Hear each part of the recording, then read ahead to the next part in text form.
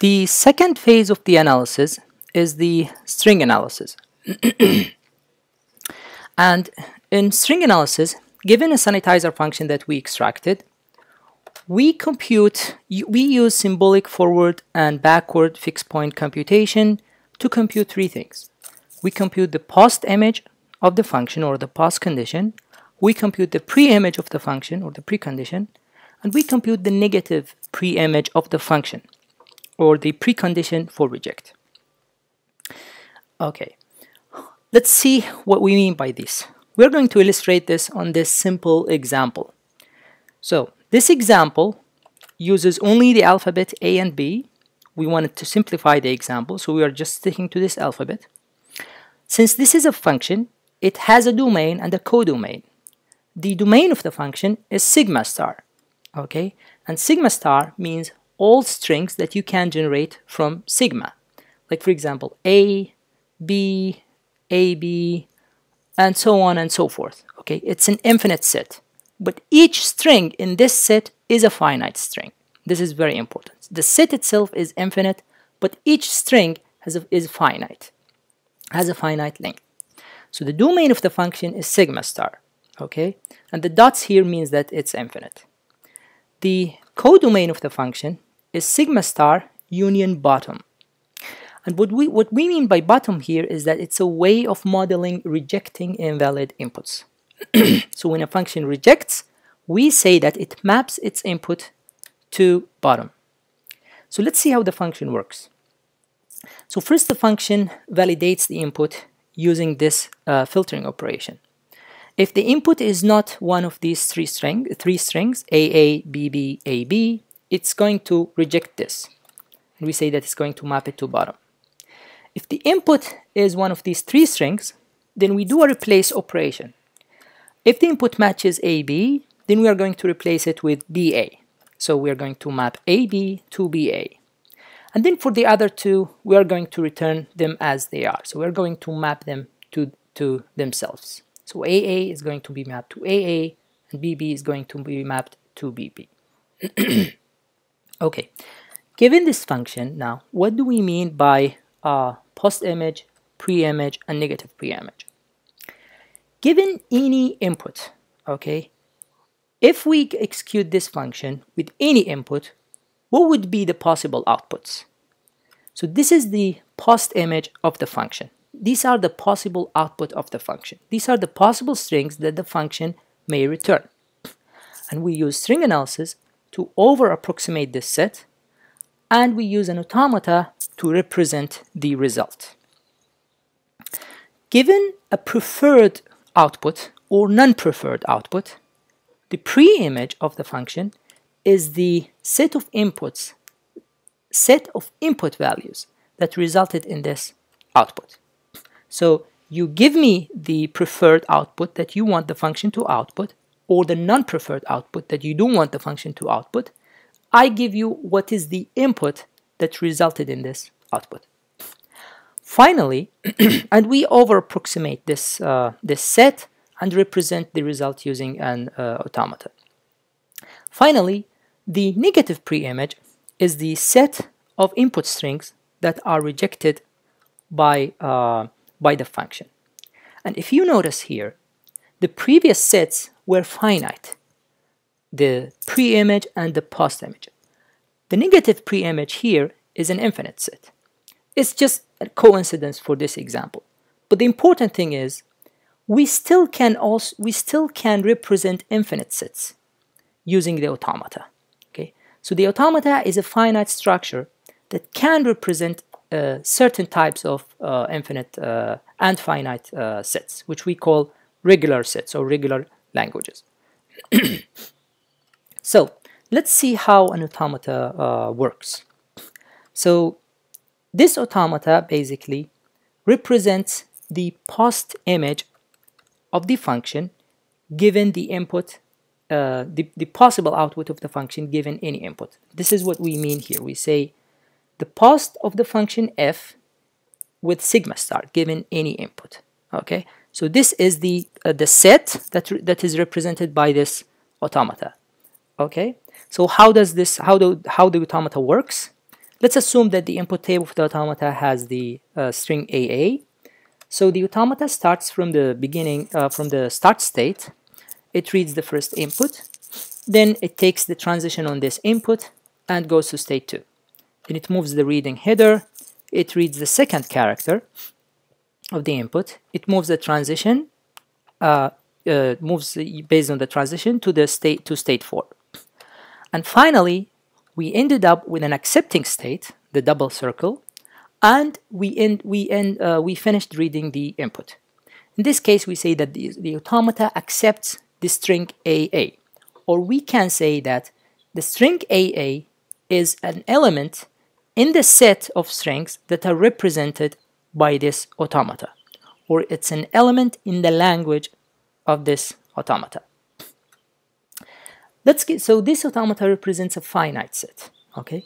Let's look at an automata that represents an infinite set, okay? So the automata itself is a finite state automata, but it can actually represent an infinite set.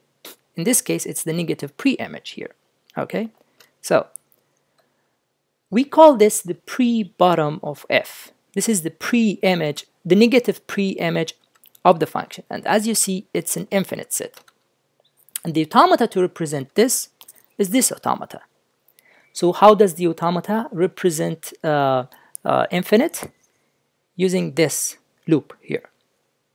Okay, so let's take, for example, uh, a kind of long string like this one, B, A, B, A. Let's see how the automata accepts this string. So starting from 0, we're going to read B, and then move to state 3. And then we are going to move to A, read A, and then move to state 1. And then we're going to move the reading header, read B, and then stay in state 1. And then move the reading header, read A, and still stay in state 1. And then we are going to move to the end. Now we finished reading the input, and we are still in an accepting state. So the automata actually, this string, this input string, is an element in the set represented by this automata. So in our analysis, uh, to make the analysis efficient, we actually represent the automata uh, symbolically, the transition relation of the automata symbolically, using a multi-terminal binary decision diagram, or MTBDD. So let me show you here. Here's the explicit automata, okay? For example, state 2 here, we have 128 transitions. To represent these transitions, we need at least 128 bytes. But if you look here, we only have one uh, transition from 2 to 2.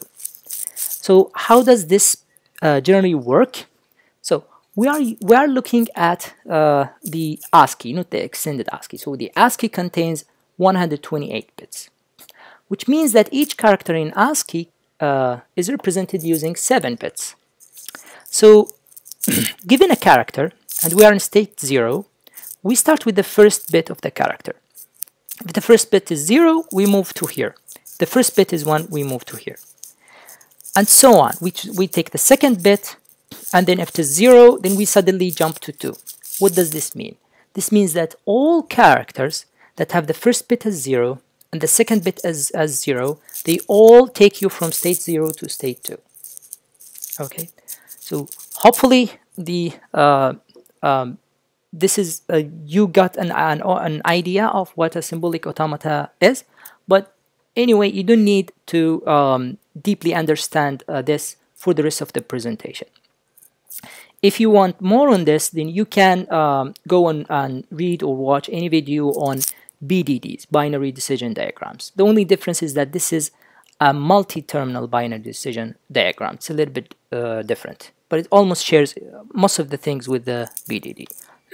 so, in our analysis, the code that we uh, implemented, everything is represented like this, not actually like this. So let's take a look at an uh, analysis example. So we are given this function, okay? So this is different than the function that we started with. Now it's a little bit more complex function.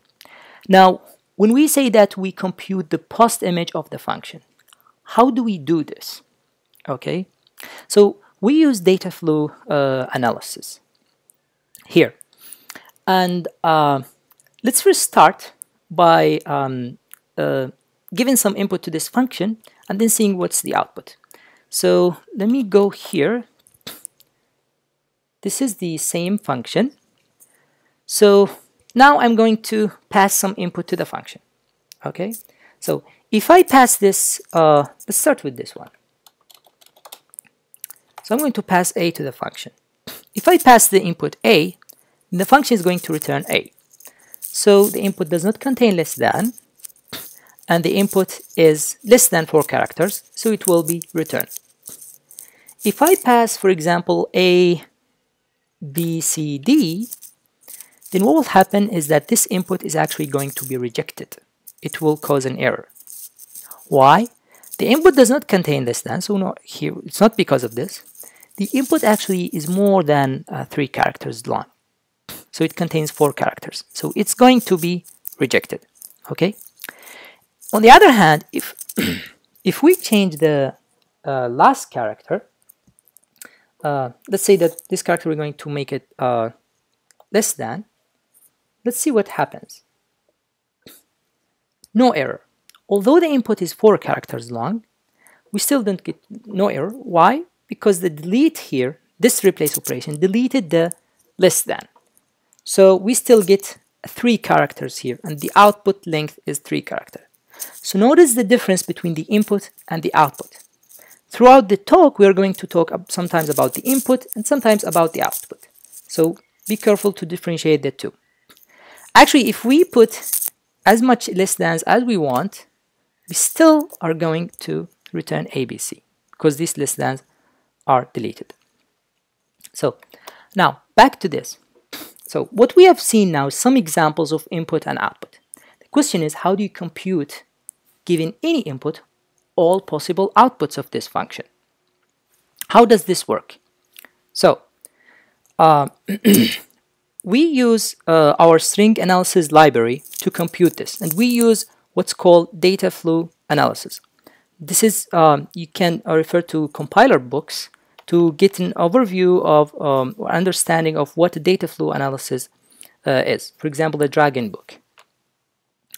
Um, so let me give you a quick, uh, quick uh, demo of this one.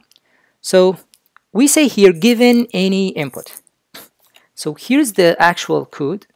Uh, see the actual code here. Okay.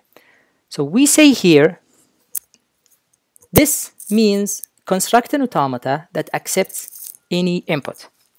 And if you want to take a look at the automata itself, this is the automata.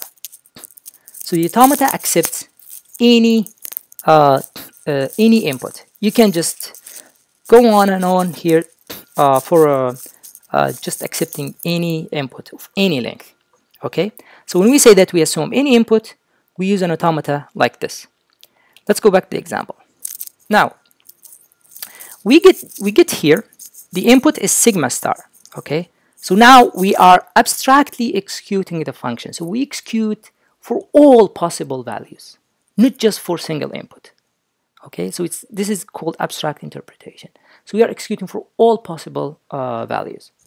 So now, if Given all the possible values before this replace operations, what are all the possible values after this replace operation at program point 1? So given a set of values for x, what are the possible values that this x is going to take after the string replace? So in our case, we started with the input being any string. What are the set of values that this x can take? Of course, they are all values that do not contain less than. So let's see how do how do we compute this using the libstranger library, by the way. This is our library. So we do this. First, we construct the string less than. Okay, so this is the character that we want to uh, delete. And then we call the function dfa replace extra bit. And what this function do basically is that given the automata M1, this is the subject automata that we are going to work on, and the search automata M2, this is the automata that we will use to search. So we will search for things in this automata accepted by this automata in this automata. And we are going to replace them by this string. And we are going to re return the result as automata, which means that we will try all possible results of the replace. Okay, so this is how it's done. Now, what is the result? This is the result, basically. It looks very similar to this one, but notice that there is a comma here. So this is a character range from null to semicolon.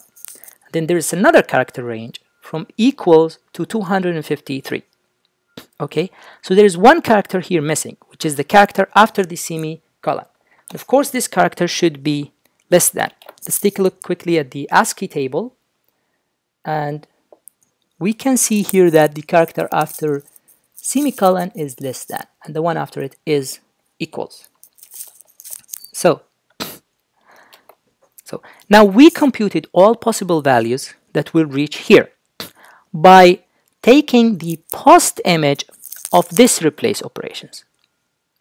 Okay, we call it, we call it, we compute the post image of the operation itself. Now, this is not the post image of the whole function, the whole sanitizer function. This is the post image of a sanitization operation inside the function. Okay, so all the possible values that may reach this program point, program point one, are represented by that, by that automata. Notice that all these sets are infinite sets. But since we are using automata, we actually can represent them with a finite structure. Now, given all the possible values that may reach here, which are the strings that do not have less than, what are the possible values that may reach the program point P2? Of course, they have be strings, they have to be strings that do not contain less than, and they are three characters or less. Okay, so let's see how we do this. Here. So here, first of all, we construct an automata that represents the condition, uh, the filtering operation here. So this filtering operation is a linked operation. It, it's, it represents all strings of length 0 to 3. This is what we do here. Sigma C1 to C2. Okay, so sigma from 0 to 3. All strings that are of length 0, 1, 2, or 3. We call this the condition automata. Okay. Given this automata, let's jump here. We intersect it with P1, with the value that we got after the replace operation. The result would give us the strings that satisfy the condition, okay, but the strings that are actually uh, after applying the replace operation on these uh, strings. So this is the result. This is the condition. Okay, you see it's three zero characters, one character, three two characters, or three characters. Any string of this these lengths can be accepted by this automata. Now this is P2. So it's any string of length 0, 1, 3, uh, 2, 3 but it does not contain less than. Okay, so these are all the possible strings that may reach this program point, P2. Same thing for program point P3. The strings that may reach program point P3 are the strings that do not satisfy this condition. Or in other words, they satisfy the negation of the condition. And since we use an automata, we can actually get the negation of the automata, which is the complement of the automata. This is not possible for other um, theoretical models like context-free grammars, for example. But for an automata, we can actually get the negation of the automata. This is what we do. We negate the condition using the DFA negate, and we got the negation of the condition. What is the negation of the condition? It is any string of length 1, 2, 3, 4 or more. It has to be 4 or more characters. This is very obvious from the branch condition here. Any string of length 4 or more. Okay? So, now, given this negation, we are going to intersect it with the result sorry, with the result from the replace operation, with the, with the result from P1 here. So, given all the strings after deleting the less than, the strings that will reach the else are the strings that are of four characters or more but do not contain less than. This is actually what we get here. Sorry, here. Okay, so they are all strings that do not contain less than and they have to be four or more characters. And here we reached the we finished the second phase or the string uh, uh, analysis. This string analysis is implemented in libstranger, which is available in uh, GitHub. So you can go under UCSB verification lab, GitHub uh, uh, account, and then you will find the uh, stranger, the libstranger, which is a C library. We also have a C++ library, which makes things much easier to implement. So instead of doing these uh, low-level calls to the C library, you can actually use the C++ library and this code basically using the C++ is equivalent to uh, to this code. So this is the C code and the commented code is the C++ code and they do exactly the same thing. But you can see here that it's much easier and this is very important. If you want to construct an automata for regular expression, then you have to use the C++. And the same code is available also for Java using a class called stranger automaton. So it's there's a C++ class and a Java class. But both of them, they use actually the stranger, the lib uh, stranger. This code is available in uh, a tool called SemRep, which is also available uh, in Git uh, uh, on GitHub. So now we finished the uh, second phase, and I'll stop here and uh, move to the uh, uh, next phase in the next uh, video.